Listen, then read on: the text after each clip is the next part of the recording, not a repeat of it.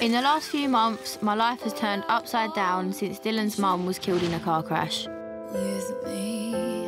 We've been spending a lot of time together organising the funeral, but now that's over, we're meant to be going our separate ways.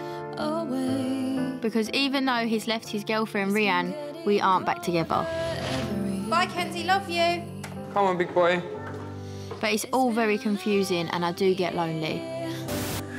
I don't know what's wrong with me. Like I just keep having these up and down moods. I think like everything with Dylan's mum is finally hitting me, and obviously it does get hard sometimes because I'm just like, obviously I've got the kids, but it's not the same. Do you know what I mean? I just feel like I'm on my own.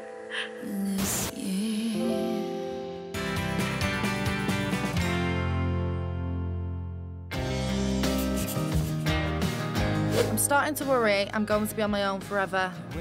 As usual, I'm facing another night in with Brooklyn. Hey, yo! Oh, baby. Why are you fed up? His eyes and bollocks. At the start, when we were speaking, he was um, there was another girl involved. Oh, you've been played again. Yeah. Well, you said you didn't like him anyway, and I'm not I being know, funny but now, it's but not don't that let it Steve. Doesn't matter if I don't like him or not. It's just the fact that it always Yeah. it happens to me. Like, Well, don't let it bother you.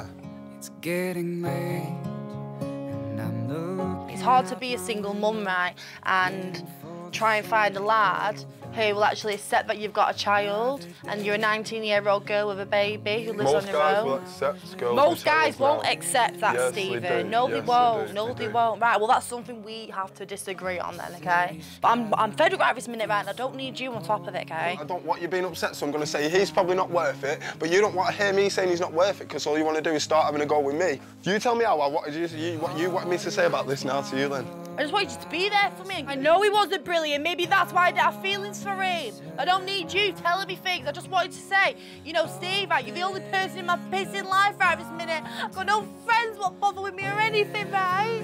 Don't cry. As much as we both think we're on our own and we both listen that, yeah, I think we've literally got what we need. So sad. It's been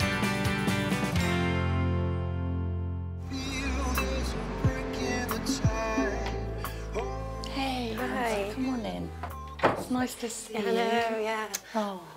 Come and take a seat. I'll sit there. Thank you. This is nice and fancy. How are things going with Steve? It's so much better.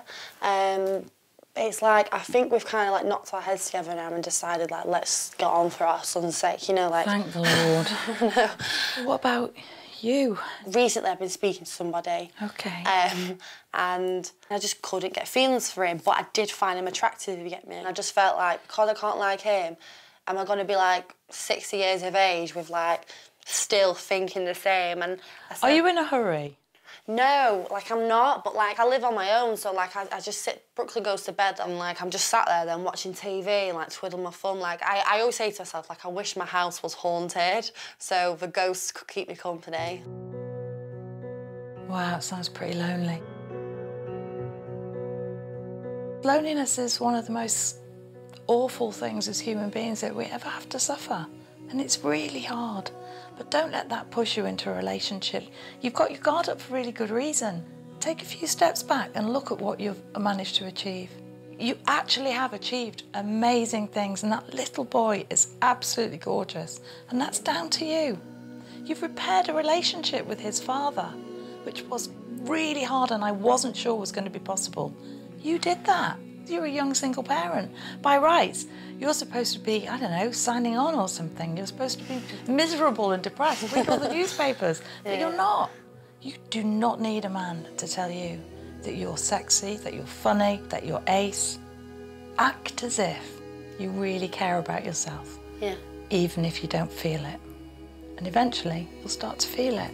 Hmm. And that, my dear, will change the way you choose men. Yeah. I promise you that.